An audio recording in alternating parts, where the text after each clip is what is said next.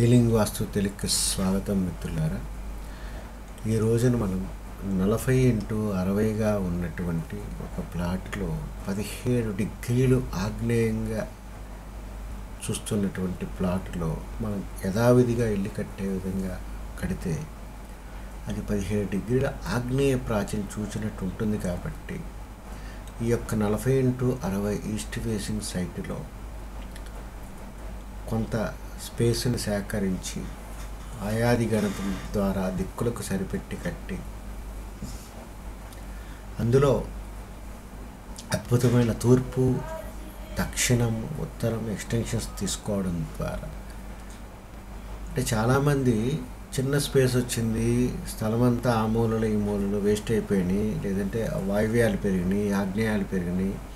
ఇటువంటి ఆలోచనలో ఉంటారు కాబట్టి అది ఇంపార్టెంట్ కాదండి. మనం ఒక కాన్షియస్ని మనం క్రియేట్ చేస్తున్నాము. ఆ కాన్షియస్ని నిలబెట్టే విధంగా ఎక్స్టెన్షన్స్ కూడా మనం తీసుకున్నప్పుడు పూర్ణంగా ఒక వాస్తుపురుష తత్వంతో ఒక నక్షత్ర బలంతో బిల్డింగ్ ఏ రకంగా ఉంటుంది ఎంత ప్రాక్టికల్గా ఇప్పుడు మీరు చూసేటటువంటి వీడియోలో మనం యొక్క స్పేస్ని పదిహేడు డిగ్రీలు తిప్పి ఎగ్జాక్ట్గా తూర్పుకి బ్రహ్మస్థానం మధ్యలో వర్షం పడే విధంగా ఒక మండువా లోగిలి స్టైల్లో ఒక డూప్లెక్స్ బిల్డింగ్కి ఒక గ్రౌండ్ ఫ్లోర్ నమూనాని ఇక్కడ మనం చూపెడుతున్నామండి. ఈ యొక్క గ్రౌండ్ ఫ్లోర్లో చక్కగా ఒక మంచి పెద్ద బెడ్రూము ఒక అటాచ్డ్ టాయిలెట్ ఒక ఎంట్రీ తూర్పు పక్కన ఒక ఎంట్రీ వరండా చక్కగా కార్ పార్క్ ఉండే విధానం. అదే రకంగా దక్షిణం పక్కన ఆగ్నేయంలో ఒక ఎక్స్టెన్షన్లో మెట్లు. ఇక్కడ పొల్యూటింగ్ ఎలిమెంట్స్ అనేటటువంటి టాయిలెట్స్ కానివ్వండి మెట్లు కానీ పూర్తిగా పూర్తిగా ఎక్స్టెన్షన్లో తీసుకుంటూ ఒక చక్కని కిచెన్ డైనింగ్ లివింగ్తో బ్రహ్మస్థానం మీద చక్కగా ఆ ఫ్యామిలీ మెంబర్స్ కూర్చొని ఈ యొక్క ప్రకృతిని ఆస్వాదించే విధంగా ఈ యొక్క డిజైన్ని మనం చేయడం జరిగిందండి. ఇది ఓన్లీ గ్రౌండ్ ఫ్లోర్ నమూనా మాత్రమే. దీన్ని ఫర్దర్గా గ్రౌండ్ నుంచి ఫస్ట్ ఫ్లోర్కి ఒక ప్రదక్షిణాక్రమంగా వెళ్తూ రెండు పెద్ద బెడ్రూమ్స్ ఉండే విధంగా మనం చేసే ప్రక్రియ ఇక్కడ చూపెడుతున్నాము. ఈ యొక్క డిజైన్ మీరు చూసినప్పుడు ఈ కర్సర్ ఏదైతే ఎక్కడైతే ఉందో చక్కగా లివింగ్ హాల్ నుంచి వచ్చి ఆ యొక్క కారిడార్ గుండా కిచెన్కి వెళ్ళొచ్చు. ఈ యొక్క స్పేస్లో ఒక డైనింగ్. అదే రకంగా డైనింగ్ నుంచి దక్షిణం పక్కగా ఆ యొక్క ఫోర్త్ పాదాలోంచి పైకి ప్రదక్షిణాక్రమంగా వెళ్ళే విధంగా ఈ యొక్క డిజైన్ని మనం చేయడం జరిగింది.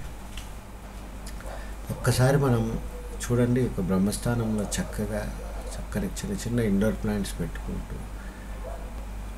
వర్క్ ఫ్రమ్ హోమ్ చేసుకునే వాళ్ళు చక్కగా ఒక ల్యాప్టాప్తో అక్కడ కూర్చొని వర్షం పడేటప్పుడు మనం ఆ యొక్క షవర్ని ఫీల్ అవుతూ అదే రకంగా యొక్క సోమసూత్ర లైన్స్ని మనం ఉత్తర దక్షిణాలుగా ఎంత చక్కగా ఎగ్జిక్యూట్ చేశాము అనేది మీరు చూడండి మిత్రులారా.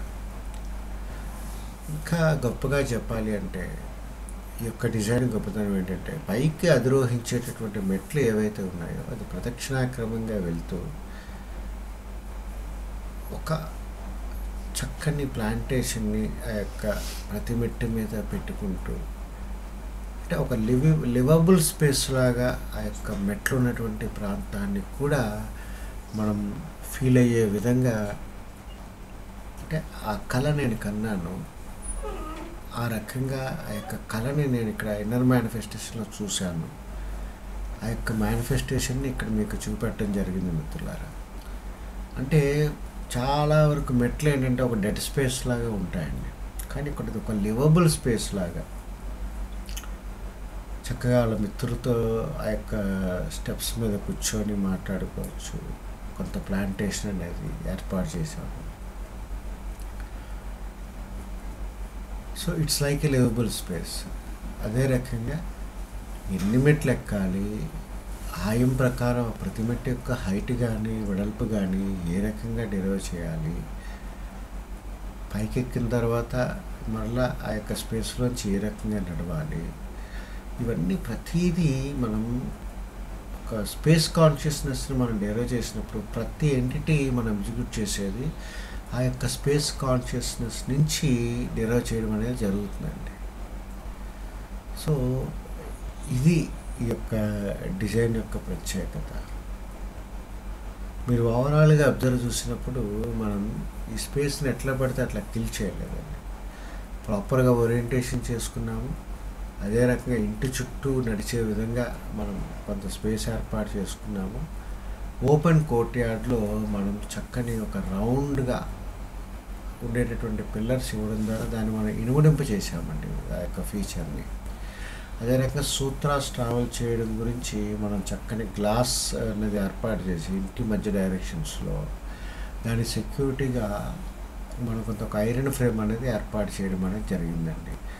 ఇది మొత్తము రెండు వందల ఇరవై రెండు స్క్వేర్ మీటర్ల స్థలం అండి. అంటే మన పరిభాషలో రెండు వందల అరవై ఆరు చదరపు గ- గజాలుగా ఉన్నటువంటి యొక్క డిజైన్ని అద్భుతంగా ఒక కాన్షియస్ బేస్డ్ బిల్డింగ్ కింద మనం చూసినప్పుడు ఏ రకంగా ఉన్నదో మీరు చూడండి. సో తద్వారా మనకి ఏంటంటే ఒక ఇల్లుని అక్కడ ఉన్నటువంటి పరిస్థితిని బట్టి అక్కడ ఎంత ఓరియంటేషన్ అయ్యింది అన్న దాన్ని బట్టి మనం డిజైన్ చేయాలి నాలెడ్జ్ అప్లై చేయాలండి. Thank you very much.